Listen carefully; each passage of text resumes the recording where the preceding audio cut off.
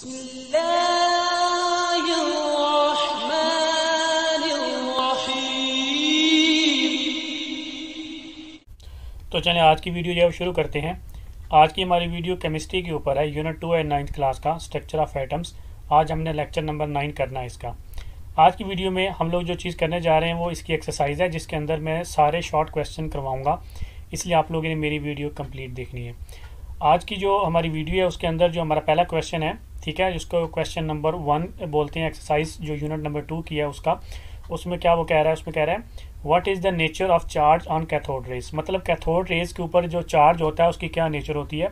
सबसे पहला जो शॉर्ट क्वेश्चन है, उसके अंदर वो ये पूछ रहे हैं। तो इसके आंसर में जो जो मैं आप लोगों को यहाँ पे नोट्स बना के दूँगा, आपने सेम यही, इसी तरह जो है वो आंसर के अंदर लिखने हैं, ठीक है? अगर मैं थोड़ा स्पीड के साथ चलूँ तो इसका मतलब यह है कि मैंने ऑलरेडी मेरे जो प्रीवियस लेक्चर्स हैं, उनके अंदर मैंने डिटेल से इनके बारे में बात की होती है।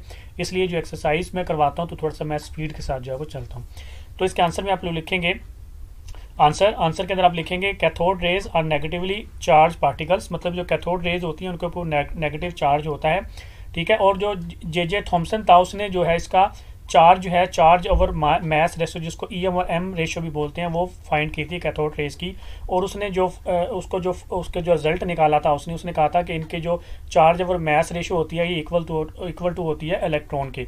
तो ये दो पॉइंट आप इसके अंदर लिखेंगे, ठीक है? एक लिखेंगे cathode rays are negatively charge particles दूसरा आप लिखेंगे J J Thomson discovered E over M जिसको चार्ज ओवर मैस रेशो बोलते हैं of cathode rays and found it equal to electron ठीक है, ये दो पॉइंट आपने इसके आंसर के अंदर जो है वो लाजमी लिखने हैं। अच्छा इसके बाद आ जाए नेक्स्ट नंबर पे। हमारे पास जो क्वेश्चन नंबर टू आता है, उसमें वो कह रहा है give five characteristics of cathode rays जो कैथोड रेज हैं, उनकी आपने पाँच करेक्टरिस्टिक्स जो हैं वो बताने हैं। ठीक है तो इसके आंसर में आप लोग क्या लिखेंगे? देखिए, आप लिखेंगे characteristics of cathode rays are listed below तो देखें, यहाँ पे मैंने आपको जो मेरा लेक्चर नंबर वन था यूनिट टू का, जो मेरा पहला लेक्चर था इस इस यूनिट का, उसके अंदर मैंने आपको जो है वो डिस्चार्ज ट्यूब और कैथोड रेस के बारे में पढ़ाया था। उसके अंदर ये वाली डायग्राम मैंने आप लोगों को जो है वो बनाना सिखाई थी, जिसको डिस्चार्ज ट्यूब एक्सपेरिमेंट भी बोलते हैं। ठीक है तो उसके अंदर मैंने आप लोगों को जो है वो डिटेल से बताया था कि इसके कौन कौन से करेक्टरिस्टिक्स होते हैं कैथोड रेस के।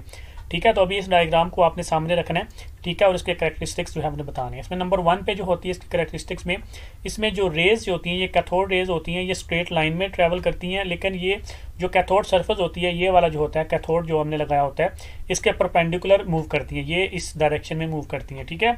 इसके परपेंडिकुलर मूव करती हैं और स्ट्रेट लाइन में मूव करती हैं। इसकी पहली प्रॉपर्टी या पहला करेक्टरिस्टिक जो है, आपने ये लिखना है। इसके बाद आप जो सेकंड नंबर पर लिखेंगे, आप लिखेंगे ये जो रेज होती हैं कैथोड रेज जब भी इनके रास्ते में कोई ओपैक ऑब्जेक्ट रखा जाए, ठीक है ओपैक ऑब्जेक्ट ऐसा होता है जिसके अंदर से रोशनी नहीं गुजरती। अगर ओपैक ऑब्जेक्ट रखा जाए तो ये क्या करती हैं, ये शेडो क्रिएट करती हैं, ठीक है, आपने इनका ये दूसरा जो है वो इसकी करेक्टरिस्टिक्स में लिखना है। तीसरे में आप लिखेंगे, ठीक है, ये जो रेज होती हैं कैथोड रेज होती हैं, ये जो है ना टूवर्ड्स पॉजिटिव प्लेट जो है वो ट्रैवल करती है। ये देखें ना हमारे पास। यहाँ पे देखिए हमने जो है वो कैथोड लगाया था, ठीक है? यहाँ से रेज निकल कर ये हमने एनोड लगाया था। एनोड के ऊपर होता है पॉजिटिव चार्ज तो ये जो रेज होती हैं, ये टूवर्ड्स एनोड मतलब टूवर्ड्स पॉजिटिव प्लेट जो है वो ट्रैवल करती हैं, ठीक है? इसके बाद आप नंबर फोर में इसमें लिखेंगे, ठीक है? The rays temperature of the body in on which they fall जिस भी इसके रास्ते में जो भी ऑब्जेक्ट आएगा, जिसके साथ भी ये टकराएँगी, उस ऑब्जेक्ट या उस बॉडी का जो टेम्परेचर होता है इंक्रीज कर देती हैं। इसके बाद आप पाँचवें नंबर पर इसमें लिखेंगे, ठीक है? लाइट इज़ प्रोड्यूस मतलब कि जब भी ये रेज डिस्चार्ज ट्यूब के साथ जाकर टकराती हैं तो लाइट जो है वो प्रोड्यूस होती है। मतलब जहाँ पे भी डिस्चार्ज ट्यूब के साथ ये टकराएँगी, वहाँ पे क्या होगी? वो डिस्चार्ज ट्यूब जो है वो थोड़ी सी ग्लो होगी, थोड़ी सी लाइट हो जाएगी, ठीक है? इसके बाद एक इसकी छठी प्रॉपर्टी भी है, वो आप लिखेंगे these rays does not depend on the nature of gas ठीक है? मतलब ये जो रेज होती हैं, ठीक है, ये जो कैथोड रेज के हमने जो डिस्चार्ज ट्यूब वाला एक्सपेरिमेंट किया था, वहाँ पे मैंने आपको बताया था कि इसके अंदर जो है वो गैस भी जो होती है, ठीक है? और वो गैस की जो है हम वैक्यूम के थ्रू जो है वो निकाल लेते हैं, ठीक है? ये इसके अंदर कोई भी आप जो है वो गैस या कोई भी चीज़ डालें तो उसके उसके ऊपर ये डिपेंड नहीं करती, ठीक है? ये कैथोड का हम जो भी मटीरियल यूज़ करें, ये कैथोड यहाँ पे जिस भी मटीरियल का यूज़ करें, उसके ऊपर भी ये डिपेंड नहीं करती, ठीक है? तो ये इन दोनों से जो है वो इंडिपेंडेंट होती हैं, ठीक हो गया? तो इन छः में से आपने पाँच जो है वो प्रॉपर्टीज़ इसके अंदर जो है वो करेक्टरिस्टिक जो है आपने इसके अंदर जो है वो लिखनी है। इसके बाद नेक्स्ट आ जाए हमारे पास जो क्वेश्चन नंबर थ्री आता है, वो है the atomic symbol of phosphorus ion is given as P की पावर माइनस थ्री ठीक है? तो ये उसने एक अटोमिक सिंबल दिया हुआ है हमको फास्फोरस आइन का। ठीक है? और वो आगे हमसे क्या पूछ रहा है? ए में हमसे वो पूछ रहा है how many protons electrons and neutrons are there in the ion मतलब ये पी की पावर माइनस थ्री जो है, ठीक है, जिसके ऊपर जो चार्ज उसने माइनस थ्री दिया हुआ है, इसके अंदर वो पूछ रहा है कि कितने प्रोटॉन्स हैं इलेक्ट्रॉन्स हैं और न्यूट्रॉन्स हैं, ठीक है? तो सबसे पहले ये देखें, इसका आंसर में आप लोग क्या लिखेंगे? मैंने आपको जो मेरा लेक्चर नंबर सिक्स था, उसके अंदर मैंने आपको पढ़ाया था, इसी यूनिट का जो लेक्चर नंबर सिक्स है, उसके अंदर मैंने आपको पढ़ाया था कि ये देखें एक न्यूक्लियस है। न्यूक्लियस के अंदर ये पहला एनर्जी लेवल है, पहला शेल है, ठीक है? इसको बोलते हैं के और इसको जो नंबर देते हैं वो N is equal to one होता है।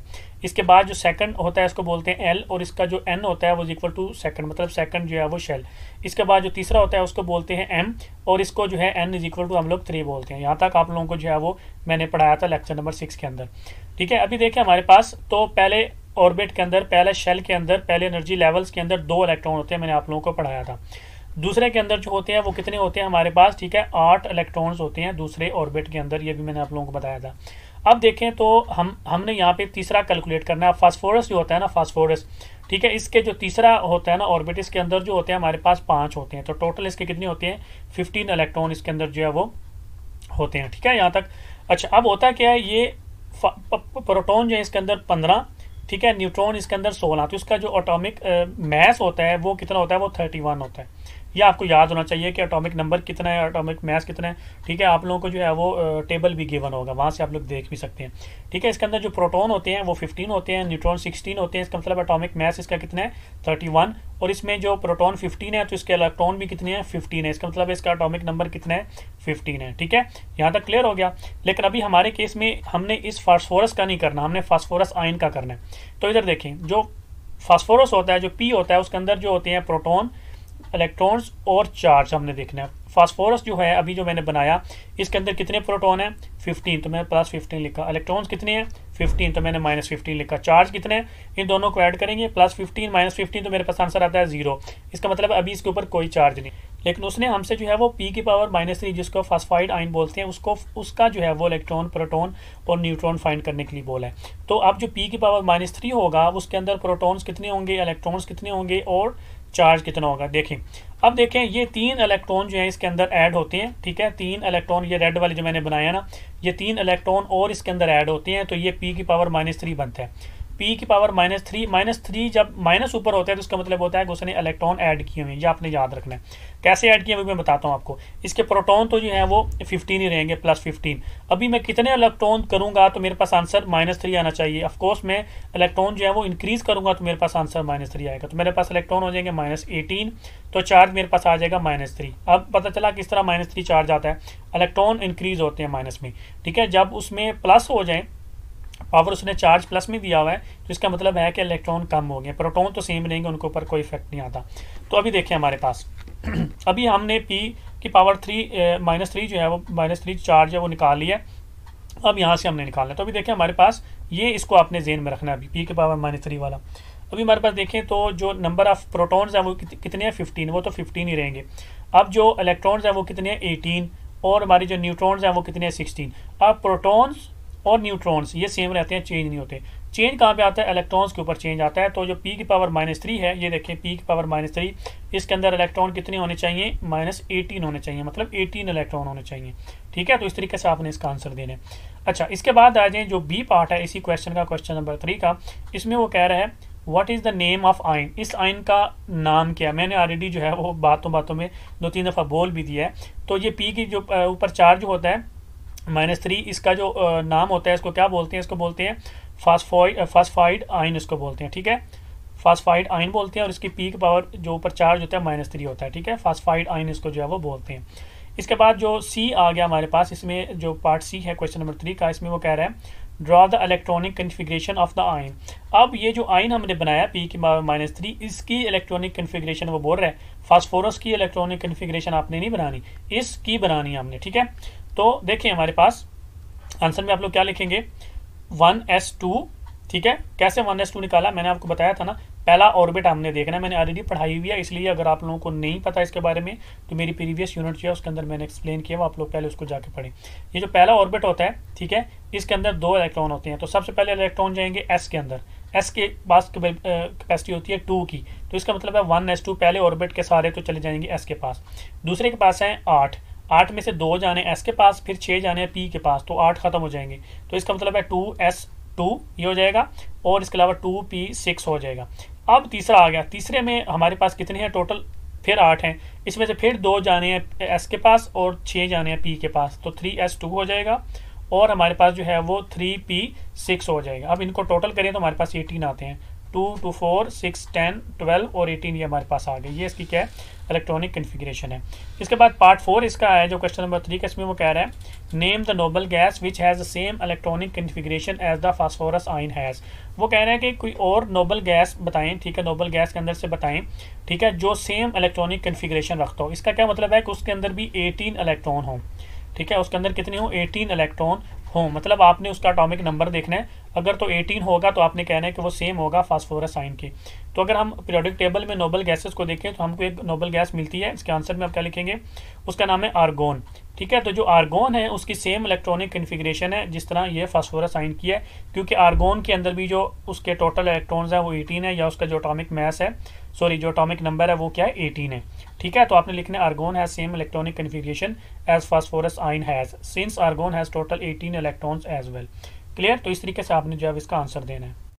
तो इसके बाद नेक्स्ट देखिए, हमारे पास जो क्वेश्चन नंबर फोर है, ठीक है, उसमें वो क्या हमसे पूछ रहा है, कह रहा है differentiate between shell and sub shell with example of each ठीक है? तो इसके आंसर में आप लोगों ने क्या लिखना है? जैसे मैं आप लोगों को बता रहा हूँ, आपने ऐसे ही लिखना है, ठीक है? आप लिखेंगे the circular path around the nucleus in which electron revolve revolve is called shell और एनर्जी लेवल्स ठीक है? मतलब जो सर्कुलर पाथ होता है ना, जो उसके न्यूक्लियस के इर्द गिर्द होता है, जिसके अंदर इलेक्ट्रॉन क्या करते हैं रिवॉल्व करते हैं, उसको क्या बोलते हैं? उसको शेल बोलते हैं या एनर्जी लेवल बोलते हैं। इसकी जो एग्ज़ाम्पल में आप क्या लिखेंगे? For example K shell K shell के अंदर कितने होते हैं? दो इलेक्ट्रॉन होते हैं। एल शेल एल शेल के अंदर कितने होते हैं? आठ इलेक्ट्रॉन होते हैं, वगैरह वगैरह। ये इसकी एग्जाम्पल्स में आप लिखेंगे, ठीक है? सेकंड में आप लिखेंगे while sub shell is a further division of shell separated by electron orbitals ठीक है? अब जो शेल होता है, उसकी फर्दर जो है वो डिवीज़न की जाती है, ठीक है? और उसको सेपरेट किस किया जा सकता है? डिफरेंट ऑर्बिटल जो इलेक्ट्रॉन इलेक्ट्रॉन ऑर्बिटल्स होते हैं ना, उसके उसके अकॉर्डिंगली उनको क्या किया जाता है? डिवाइड किया जाता है। अब इसके अंदर होता है हमारे पास एस सब शेल जिसके अंदर दो इलेक्ट्रॉन होते हैं और एक ऑर्बिटल्स होता है पी सब शेल होता है, जिसके अंदर छह इलेक्ट्रॉन्स और तीन ऑर्बिटल्स होते हैं, ठीक है? जो इलेक्ट्रॉन होते हैं ना, वो जोड़े की फॉर्म में रहते हैं, मैंने आपको पहले भी बताया था। तो जो एक जोड़ा होता है ना, उसको एक ऑर्बिटल बोलते हैं, ठीक है? जो दो इलेक्ट्रॉन होते हैं, जो मिलकर रहते हैं, उन दोनों को जो है, वो एक ऑर्बिटल बोलते हैं, ठीक है? एस के अंदर एक ऑर्बिटल होता है पी के अंदर जो है, वो तीन ऑर्बिटल होते हैं। इस तरह आपके पास जो डी आ जाता है, उसके अंदर पाँच होते हैं, जो एफ़ होता है, उसके अंदर सात होते हैं, इस तरह, ठीक है? तो ये आपने जो है एस एज इट आपने जो है इसका आंसर जो है लिखना है। इसके बाद नेक्स्ट आ जाए हमारे पास क्वेश्चन नंबर जो फाइव है, वो an element has atomic number seventeen how many electrons are present in K L and M shell of the atom अब वो कह रहे एक एलिमेंट है, उसका अटोमिक नंबर है सेवनटीन अटोमिक नंबर का मतलब होता है कि उसके नंबर ऑफ़ इलेक्ट्रॉन्स और उसके वो पूछ रहा है कि उसके के शेल में कितने इलेक्ट्रॉन्स हैं? एल में कितने और एम में कितने हैं? तो उसके आंसर में आप लोग क्या लिखेंगे? ठीक है? ये देखें, सबसे पहले मैं आपको बता दूँ, जो अटोमिक नंबर होता है, वो इक्वल टू होता है हमारा नंबर ऑफ़ इलेक्ट्रॉन्स तो सबसे पहले बना लेते हैं, ये न्यूक्लियस हो गया. ये इसका पहला जो है के शेल जिसको बोलते हैं, वो हो गया. ये इसका जो है वो एल शेल हो गया, ये इसका क्या है एम शेल हो गया। मैंने आपको बताया था जो पहला शेल होता है जो के होता है, इसके अंदर कितने होते हैं? दो इलेक्ट्रॉन एल के अंदर मैक्सिमम होते हैं आठ इलेक्ट्रॉन अब देखें आठ और दो कितने हो गए दस। और टोटल उसके कितने इलेक्ट्रॉन हैं? सेवनटीन पीछे कितने बच गए? सेवन तो एम में कितने होंगे? सेवन इलेक्ट्रॉन होंगे, ठीक है? तो अभी आंसर में आप लोग क्या लिखेंगे? आप लिखेंगे के शेल के शेल के अंदर कितने हमारे पास देखें, दो इलेक्ट्रॉन्स हैं। इसके अलावा इसके अलावा जो एल शेल है, उसके अंदर हमारे पास कितने हैं? आठ इलेक्ट्रॉन्स हैं। इसके अलावा एम शेल के अंदर हमारे पास कितने हैं? तो देखें, सात इलेक्ट्रॉन्स हैं। अब इन तीनों को हम ऐड करें तो हमारे पास कितने आते हैं? सेवनटीन और ये देखें अटोमिक नंबर भी कितना उसका? सेवनटीन ठीक है तो इस तरीके से आपने जो है वो उसको आंसर देना है। इसके बाद नेक्स्ट आ जाए हमारे पास जो क्वेश्चन नंबर सिक्स है, उसके अंदर वो पूछ रहे हैं हमसे write down electronic configuration of aluminium के ऊपर उसने चार्ज दिया हुआ plus three how many electrons are present in most shell अब वो दो चीज़ें हमसे पूछ रहे हैं। एक जो एल्यूमिनियम प्लस थ्री है, उसके बारे में उसकी इलेक्ट्रॉनिक कन्फिग्रेशन पूछ रहा है। इसमें आपने ये जेहन में रखना है कि ये एल्यूमिनियम की नहीं पूछ रहा। ये उसके ऊपर चार्ज भी दे रहा है प्लस थ्री भी इसने किया हुआ प्लस थ्री का क्या मतलब होता है कि तीन इलेक्ट्रॉन इसमें से गए हुए हैं। मैंने थोड़ी देर पहले आपको बताया। इसके अलावा वो आपसे पूछ रहा है कि उसका जो आउटर मोस्ट शेल होगा, जो आखिरी शेल होगा, ठीक है, उसके अंदर इलेक्ट्रॉन्स कितने होंगे? दो चीज़ें आपसे पूछ रहा है। तो इसके आंसर में आप लोग क्या लिखेंगे? ये देखें सबसे पहले मैं आपको बता दूँ एक चीज़, ठीक है? अटोमिक नंबर ऑफ़ एल्यूमिनियम जो है वो इक्वल टू हमारे पास कितना होता है? वो होता है थर्टीन इसका मतलब है कि एल्यूमिनियम के अंदर जो इलेक्ट्रॉन्स होते हैं, वो कितने होते हैं? थर्टीन अब ये आ जाए इधर हमारे पास, ठीक है?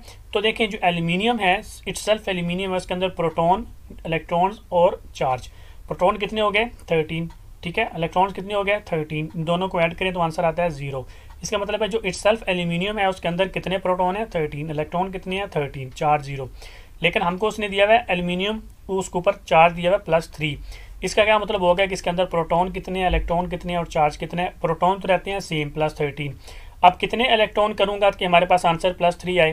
ठीक है माइनस थर्टीन को मैं थी, तीन ऐड करूँ या माइनस करूँगा? ऑफकोर्स माइनस करूँगा।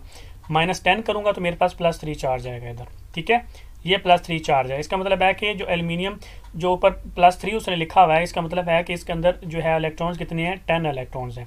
ठीक है? तो ये आपने याद रखना अभी बना लेते हैं एल्यूमिनियम प्लस थ्री की कन्फिग्रेशन पहले उसकी जो है वो स्ट्रक्चर बना लेते हैं। पहला शेल इसको के बोलते हैं। दूसरा शेल इसको क्या बोलते हैं? एल बस हमने दो तक ही जाना, क्योंकि उसके अंदर जो है वो टेन इलेक्ट्रॉन अभी बाकी हैं। पहले शेल में दो इलेक्ट्रॉन होंगे, दूसरे सेल में कितने होंगे? आठ इलेक्ट्रॉन होंगे। टोटल टेन पूरे हो गए। दैट्स इट ये एल्यूमिनियम जो ऊपर तीन चार्ज है, वो बन गया। अभी देखिए आंसर में आप लिखेंगे वन एस टू मतलब पहले शेल के अंदर कितने इलेक्ट्रॉन हैं? दो इलेक्ट्रॉन है। तो वो दोनों दोनों एस को मिल जाएँगे। दूसरे में कितने इलेक्ट्रॉन है? आठ। उसमें से दो एस को मिलेंगे और छः पी को मिलेंगे। तो आप लिखेंगे टू एस टू और आप लिखेंगे टू पी सिक्स ठीक है? ये पूरे हो गए। देखें टू टू फोर और सिक्स करेंगे तो अच्छा इसके बाद देखें तो सेकंड चीज़ हमसे पूछ रहा है कि how many electrons are present in outermost shell आखिरी शेल में कितने इलेक्ट्रॉन है? तो ऑटरमोस्ट जो शेल है, उसके अंदर इलेक्ट्रॉन्स कितने हैं? काउंट करें तो आठ मान रहे हैं हमारे पास। ठीक है? तो इसका आंसर होगा एट इलेक्ट्रॉन्स क्लियर तो इस तरीके से आपने जो इसका आंसर देने अच्छा इसके बाद नेक्स्ट आ जाए हमारे पास जो क्वेश्चन नंबर सेवन है, इसमें वो कह रहा है magnesium has electronic configuration of two eight two इसमें जो हमसे पहले नंबर पे पूछ रहा है, वो कह रहा है how many electrons are in the outermost shell outermost shell के अंदर कितने इलेक्ट्रॉन हैं? ठीक है, इसके आंसर में आप लोग क्या लिखेंगे? ये देखिए, हमारे पास होता है के शेल फिर होता है एल शेल और एंड पे होता है हमारे पास एम शेल अब उसने क्या दिया है? टू ए टू इसका मतलब के के अंदर टू हमने लेफ़्ट टू राइट चलना होता है, ठीक है? लेफ़्ट टू राइट जो लेफ़्ट साइड पे हमारा होगा ना, वो हमारा पहला शेल होगा मतलब के शेल होगा, ये याद रखना आपने। आगे एट मतलब एल शेल के अंदर एट और एम शेल के अंदर टू ये देखिए हमारे पास जो लास्ट वाला है, ये एम जो होता है ना सबसे आउटर मोस्ट होता है। तो इसके अंदर कितने इलेक्ट्रॉन्स हैं? टू तो आप लिखेंगे magnesium has two electrons in its outermost shell ठीक हो गया? अब इसका बी पार्ट देखें, उसमें वो क्या पूछ रहे हैं? In which sub shell of the outermost shell electrons are present अब वो सब शेल पूछ रहे हैं कि जो आखिरी हमारा शेल है मतलब जो एम शेल है उसके अंदर कौन सा सब शेल है? एस है पी है डी है एफ़ है, कौन सा है? ठीक है, जब देखें, इसकी इसकी इलेक्ट्रॉनिक कन्फिग्रेशन बना लेते हैं। पहले इसका आंसर लिखेंगे आप। इलेक्ट्रॉनिक कन्फिग्रेशन कैसे बनेगी? के के अंदर तो हमारे पास वन एस टू आ गया। एल के अंदर हमारे पास एट है तो टू एस टू और टू पी सिक्स हम हम उन्होंने ले लेनी है जगह। अब तीसरा जो होता है, उसके अंदर सबसे पहले हमने एस को देनी है। दो ही हैं तो दोनों के दोनों एस में चले जाएँगे तो आ जाएगा थ्री एस टू ठीक है? अब इसमें देखें तो जो ऑटर मोस्ट शेल है एम वो जो है, उसके अंदर कौन सा सब शेल है? उसके अंदर सिर्फ़ एस जो है, वो सब शेल है। तो आप लिखेंगे two electrons are present in sub shell S of the outermost shell M मतलब जो आउटर मोस्ट शेल एम है, उसके अंदर जो सब शेल है, वो सिर्फ़ एस है, और उसके अंदर दो इलेक्ट्रॉन जो है, वो प्रेजेंट है। ठीक है? इसके बाद आ जाए हमारे पास जो पार्ट सी है क्वेश्चन नंबर सेवन का। इसमें वो कह रहा है why magnesium tends to lose electrons magnesium जो है वो क्यों जो है वो इलेक्ट्रॉन लूज करता है? क्यों लूज करने की कोशिश करता है या क्यों लूज करता है फॉर एग्ज़ाम्पल ठीक है?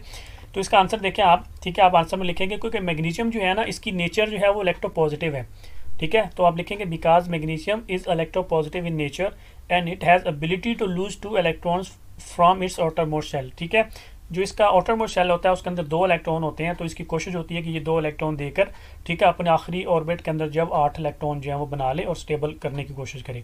तो आप इसमें ये जो मैंने वर्ड्स लिखे हैं because magnesium is electropositive in nature and it has ability to lose two electrons from its outermost shell आपने ये सेम दो लाइनें यही लिखनी है। ठीक है? तो इसके बाद नेक्स्ट आ जाए हमारे पास जो क्वेश्चन नंबर एट है, उसमें वो कह रहे हैं what will be the nature of charge on an atom when it loses an electron or when it gains an electron? जब इलेक्ट्रॉन गेन करेगा तो कौन सा चार्ज आएगा? जब इलेक्ट्रॉन जो है वो लूज करेगा तो कौन सा चार्ज आएगा? मैं ऑलरेडी बहुत दफ़ा बता चुका आपको। आंसर ये देखें फॉर एग्जांपल हमारे पास एक्स एटम है, कोई भी हमारे पास है, ठीक है? इसमें से देखें तो इसमें प्रोटोन इलेक्ट्रॉन और चार्ज यही होता है ना? अब एक्स एटम है, ठीक है न्यूट्रल है, उसके ऊपर कोई चार्ज नहीं ज़ीरो चार्ज है तो इसके जितने भी प्रोटोन होंगे से थर्टीन प्रोटोन है तो थर्टीन ही इलेक्ट्रॉन होंगे इसके अंदर तो चार्ज होगा ज़ीरो अब ये ज़ीरो चार्ज के अंदर है, ठीक है, ये चार्ज कब आता है? जब वो इलेक्ट्रॉन गेन करता है या जब ये वो इलेक्ट्रॉन लूज करता है, तब ये चार्ज आता है. तो अब देखें फॉर एग्ज़ाम्पल जो एक्स एटम था, उसने क्या किया? उसने एक इलेक्ट्रॉन लूज कर दिया. अब इसमें प्रोटोन इलेक्ट्रॉन और चार्ज क्या हो जाएगा? इसमें देखें, अगर उसने एक इलेक्ट्रॉन लूज किया है प्रोटोन तो प्लस थर्टीन ही रहेंगे। तो इलेक्ट्रॉन आप माइनस थर्टीन की जगह पे कितने हो जाएँगे? माइनस ट्वेल्व ठीक है? क्योंकि उसने एक इलेक्ट्रॉन क्या किया? लूज कर दिया, कम कर दिया। अब चार्ज देखें, इन दोनों को ऐड करें प्लस थर्टीन माइनस ट्वेल्व तो मेरे पास आता है प्लस वन तो इसका मतलब है कि जब वो इलेक्ट्रॉन लूज करेगा, ठीक है तो उसके ऊपर चार्ज कितना होगा? उसका ऊपर चार्ज कौन सा होगा? प्लस चार्ज होगा। तो आप आंसर में लिखेंगे when an atom loses its electron it will have positive charge due to more protons in the nucleus अब क्यों पॉजिटिव होता है? क्योंकि प्रोटॉन ज़्यादा हो गया ना उसके न्यूक्लियस के अंदर। प्रोटॉन थर्टीन है इलेक्ट्रॉन सिर्फ़ ट्वेल्व रह गया तो इसलिए पॉजिटिव चार्ज होता है। अच्छा अब इस सेकंड सिनेरियो देखें, इसमें वो एक्स एटम जो है, वो क्या करता है? गेन कर लेता है एक इलेक्ट्रॉन तो गेन करता है प्रोटॉन तो देख लेते हैं प्रोटॉन इलेक्ट्रॉन और चार्ज प्रोटॉन्स तो हमारे सेम रहेंगे प्लस थर्टीन अब उसने एक इलेक्ट्रॉन गेन किया तो माइनस थर्टीन की जगह में क्या हो जाएगा? माइनस फोर्टीन पहले थर्टीन इलेक्ट्रॉन से ना, अभी कितने इलेक्ट्रॉन हो जाएँगे? फोर्टीन तो मेरे पास माइनस फोर्टीन अब चार्ज क्या आएगा? माइनस वन चार्ज आएगा, ठीक है? तो इसके आंसर में आप लिखेंगे while when an atom gain an electron it will have negative charge due to less protons in the nucleus अब अब न्यूक्लियस के अंदर प्रोटॉन्स जो है, वो कम हो गए कंपेयर टू इलेक्ट्रॉन्स इसलिए उसके ऊपर कौन सा चार्ज होता है? नेगेटिव चार्ज होता है। ये दो स्टेटमेंट आपने लिखनी है। ये जस्ट मैंने आपको एक्सप्लेन करने के लिए ये नीचे लिख रहा हूँ, ठीक है? आपने आंसर ये इधर लिखना हो ना आंसर ये आपने आंसर के अंदर जो है वो लिखना है। अच्छा तो इसके बाद नेक्स्ट आ जाए हमारे पास जो क्वेश्चन नंबर नाइन है, इसका यूनिट टू की एक्सरसाइज का। इसमें वो कह रहा है for what purpose uranium 235 is used मतलब यूरेनियम 235 किस पर्पज़ के लिए यूज़ किया जाता है? तो उसके आंसर में आप लिखेंगे, मैंने आप लोगों को ऑलरेडी इसके बारे में जो यूजेस ऑफ़ आइसोटॉप्स है, उसके अंदर मैंने ब्रीफली एक्सप्लेन किया हुआ मैं दोबारा से इसको यहाँ पे लिख देता हूँ। अब लिखेंगे when slow moving neutrons are bombarded on uranium 235 large amount of energy is release ठीक है, जब भी स्लो मूविंग न्यूट्रॉन्स की बम्बार्डमेंट करवाई जाती है ना यूरेनियम टू पे तो उसके अंदर क्या होता है? हमारे पास बेरिलियम बेरिलियम प्रोड्यूस होता है क्रिप्टन प्रोड्यूस होता है। ठीक है? और हमारे पास जो है वो तीन न्यूट्रॉन न्यूट्रॉन जो है प्रोड्यूस होते हैं, उसके अलावा हमारे पास लॉट ऑफ़ एनर्जी जो है वो प्रोड्यूस होती है। ठीक है? सॉरी जो बेरियम प्रोड्यूस होता है। तो देखिए, हमारे पास जो यूरेनियम है टू थर्टी फाइव जब इसके ऊपर बम्बार्डमेंट करवाई जाती है न्यूट्रॉन्स की तो रिजल्टेंट में हमारे पास बेरियम प्रोड्यूस होता है। ठीक है? क्रिप्टन प्रोड्यूस होता है। इसके अलावा हमारे पास जो है वो न्यूट्रॉन्स प्रोड्यूस होते हैं तीन, इसके अलावा हमारे पास जो है वो एनर्जी प्रोड्यूस होती है। ये जो एनर्जी होती है ना जो आ, हमारे पास इधर प्रोड्यूस होती है ये बहुत ज़्यादा अमाउंट में होती है। ये वाली एनर्जी बाद में हम लोग क्या करते हैं हम लोग यूज़ करते हैं जो हमारा वाटर होता है ना जो बॉयलर्स के अंदर वाटर होता है उनको उसको स्टीम के अंदर कन्वर्ट करने के लिए। वाटर को क्या करते हैं बॉयल करने के लिए स्टीम बनाने के लिए। वो स्टीम क्या करती है? बाद में जो टर्बाइंस होती हैं ना, जिनसे इलेक्ट्रिसिटी बनती है, उन टर्बाइंस को क्या करती है? मूव करती है, चलाती है। और वो टर्बाइंस एंड द एंड क्या करती हैं? इलेक्ट्रिसिटी जनरेट करती है। तो बेसिकली जो यूरेनियम 235 का यूज़ होता है, वो इलेक्ट्रिसिटी जनरेट करने के लिए यूज़ होता है। और ये चीपर ये कह लें आप, या बेस्ट वे कह लें, ठीक है? इस यूरेनियम का जो यूज़ होता है ना पीसफुल यूज़ यूरेनियम का होता है, वो यही होता है इलेक्ट्रिसिटी प्रोड्यूस करने के लिए। तो ये आपने सारा लिखना है इक्वेशन भी लिखनी है आपने इसके अंदर। इसके बाद नेक्स्ट आ जाए हमारे पास जो क्वेश्चन नंबर टेन है, इसमें है a patient has goitre how will it be detected एक पेशेंट है, उसके अंदर गाइटर है, वो कैसे डिटेक्ट किया जाएगा, इसका आंसर लिखेंगे। ये मैंने ऑलरेडी यूजेज ये भी यूजेज ऑफ़ आइसोटॉप्स के अंदर ही है।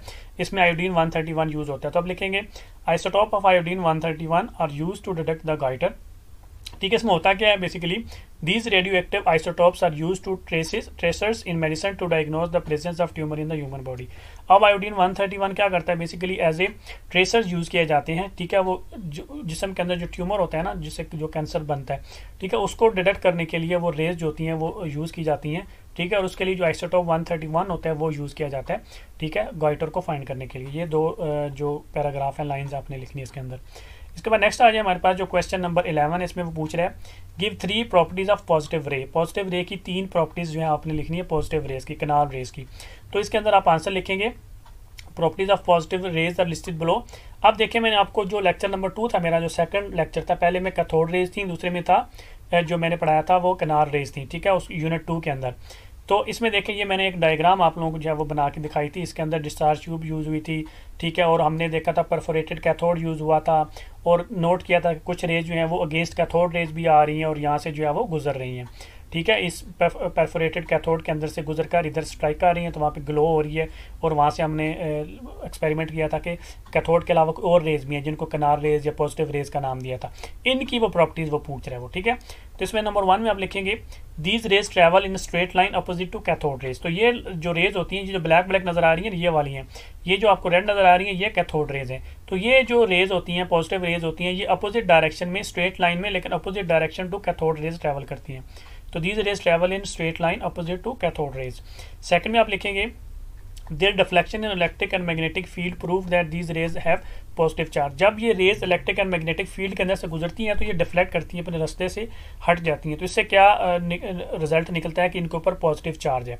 ठीक हो गया? इसके बाद तीसरे नंबर पर आप लिखेंगे of these particles was found equal to that of proton or simply multiple of it. ठीक है? तो इसकी वजह से यहाँ पे, इस, इसकी वजह से ही इसको कहा गया था कि इनके ऊपर जो है वो पॉजिटिव जो है वो चार्ज है, इसलिए पॉजिटिव रेज इनको बोला गया था। ठीक है? ये तीन प्रॉपर्टीज़ जो आपने इसके अंदर लिखनी है।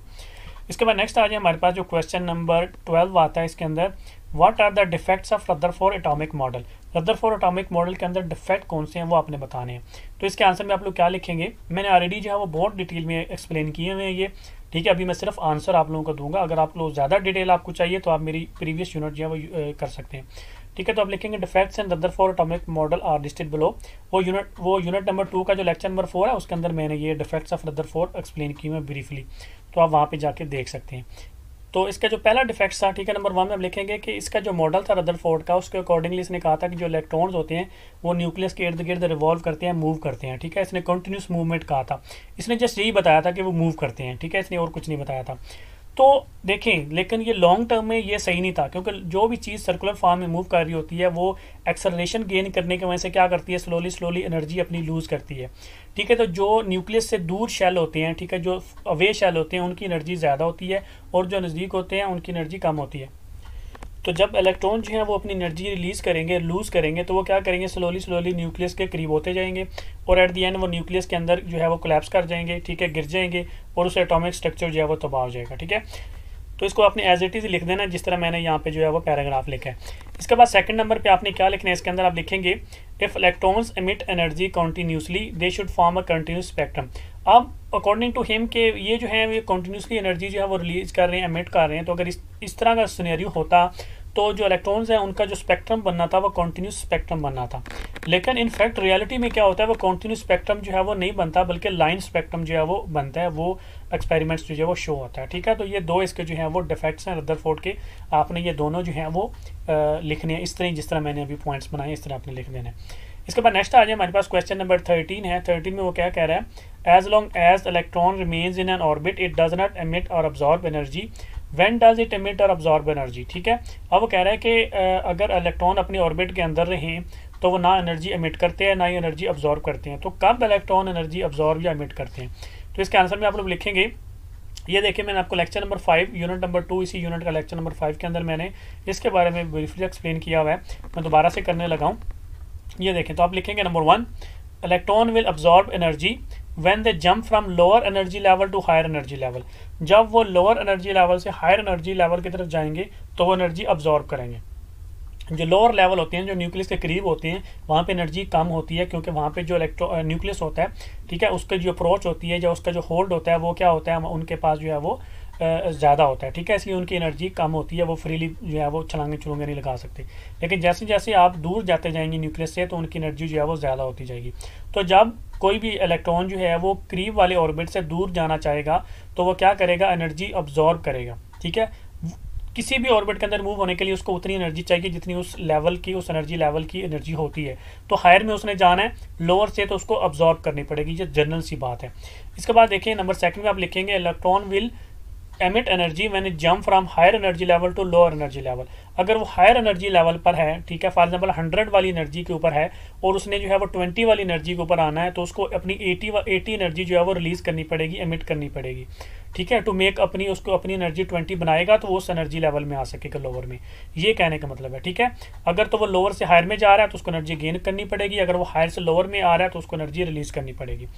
ठीक है, इसके बाद इसकी जो है देखें हमारे पास change in energy can be calculated from Planck's given equation जो चेंज इन एनर्जी होती है ना, वो जो प्लैंक की इक्वेशन होती है, वहाँ से कैलकुलेट की जा सकती है। उसमें वो क्या कहता है? उसमें कहता है वो चेंज इन एनर्जी जिसको डेल्टा ई e बोलते हैं is equal to final energy minus initial energy अब चेंज इन एनर्जी मतलब delta E is equal to final energy को नाम बोलते हैं हम ई टू माइनस इनिशियल को बोलते हैं ई e वन ठीक है? ये इक्वल्स टू होती है एच वी ठीक है? ये चेंज इन एनर्जी किसकी इक्वल होती है? एच वी इसमें जो एच होता है ना एच होता है प्लैंक्स कॉन्सेंट और इसकी वैल्यू होती है six point six three into ten wraps और minus thirty four joule second और जो वी होती है, ये फ्रिक्वेंसी फ्रिक्वेंसी ऑफ़ लाइट होती है। ये पूरा आपने जो है इसके अंदर जो है वो लिखना है, इसके आंसर के अंदर, ठीक है? आपने लिखना है कि जब पी कोई इलेक्ट्रॉन जो है वो हायर हायर लोअर से हायर ऑर्बिट की तरफ़ जाएगा तो एनर्जी गेन करेगा। जब हायर से लोअर की तरफ़ जाएगा तो एनर्जी रिलीज़ करेगा।